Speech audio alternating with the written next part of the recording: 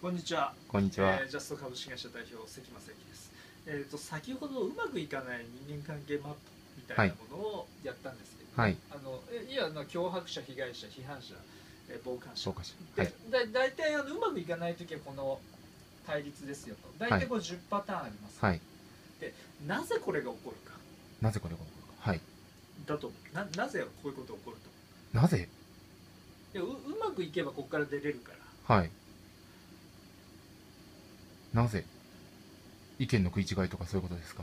ではなくてですか？でみんな意見食い違ってうまくいってる人いるよ。あー。なんでしょう？え？前言ったような気がする。ー、本当ですか？まあ例えば、はい。こうエネルギーなんでもいいんだけど、はい。あ。コップがあるとする、はい。でどうもここ満たされている、はい。なんか足りないってなると、はい。どっかから奪おうとする、はいなんかここの足りないっつうのはねいろいろなものがあるはい。まあ基本的に全てあの、まあ、物理学じゃないんだけどエはいネルギー還元できるから、はい。い、や時間が足りないのよイライラするとこうなるのよ、はい。うん。で腹減ってるだけでもこうなる、はい。うん。うんはい。であと空昨日ちょっと考えてやっちゃったんで、はい。空間が足りないと、はい。なんかこれ捨てるよとか言って空間が足りなくてもこれが起こはい。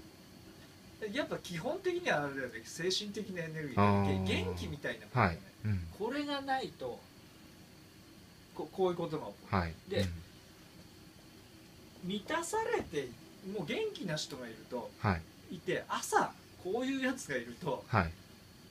脅迫とこの手段を使って脅迫批判、えー傍観ひ被害者になることを使って、ガッと奪い奪ってこっちにやろうとする、はい。そうするとこの人も足りないから、はい。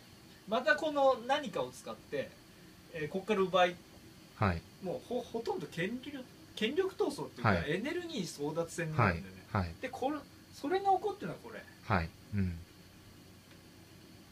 うん。でこれをなんまあこれがあの基本的に起こってることだねはい。うん。でこれをなんとかしなければいけないはい。